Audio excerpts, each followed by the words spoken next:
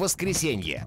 Знаете ли вы, что знаменитый Empire State Building был построен для того, чтобы люди спускались с небес на землю? По замыслу архитектора, даже вход в здание должен был ошеломлять. Что его строили представители одного из самых загадочных племен канадских индейцев. Все, что вы не знали про самый знаменитый небоскреб Нью-Йорка в программе «Русский акцент». Жизнь по вертикали. В воскресенье в 5.30 вечера на RTVI.